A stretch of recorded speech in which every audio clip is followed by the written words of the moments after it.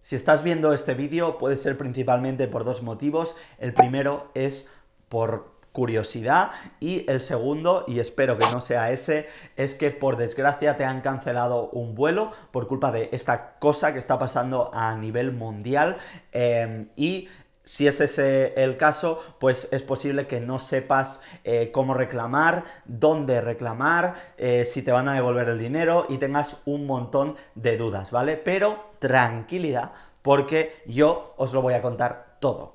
Bueno, durante los últimos días hemos eh, estado viendo cómo varios países han cerrado su espacio aéreo y han cancelado un montón de vuelos comerciales por miedo a la propagación de este virus, ¿vale? El caso más conocido ha sido el de Italia, que tomó esa medida hace unos días, pero es que hoy mismo Estados Unidos ha tomado esa misma decisión con todos los vuelos procedentes de cualquier país de Europa, exceptuando Reino Unido, ¿vale? Si tú tenías un vuelo a Estados Unidos eh, desde cualquier país de Europa durante los siguientes 30 días a partir de mañana día 13 de marzo, viernes, que sepas que ese vuelo ya no existe, o sea, se ha cancelado, ¿vale?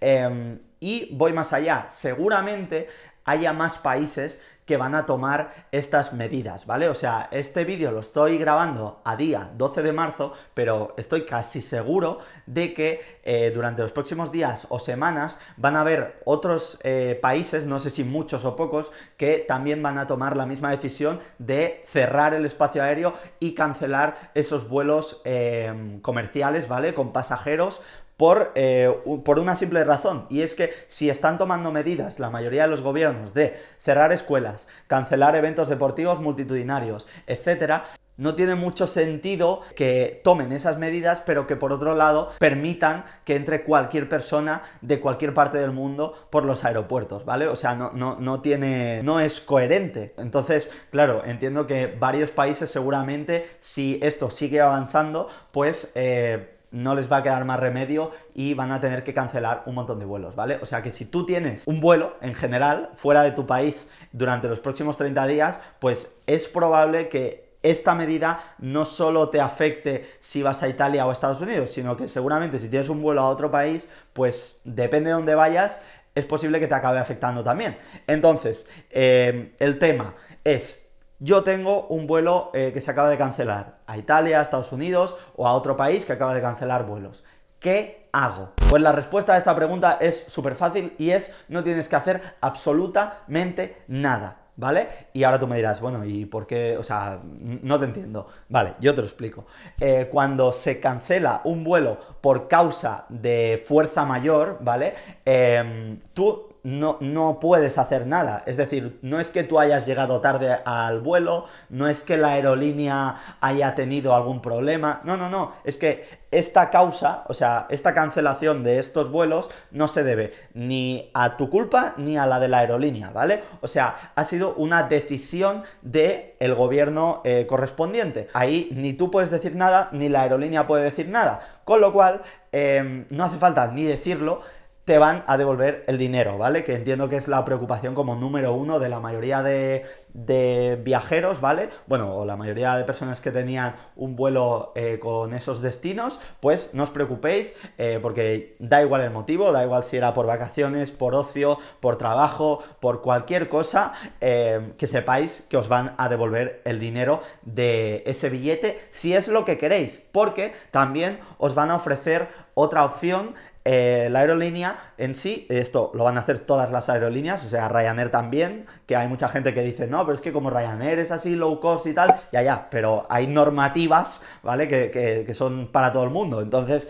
eh, Ryanair también nos va a ofrecer, pues, la devolución del billete, ¿vale? En, dinero, ¿ok? o sea, os va a devolver el dinero si es lo que queréis.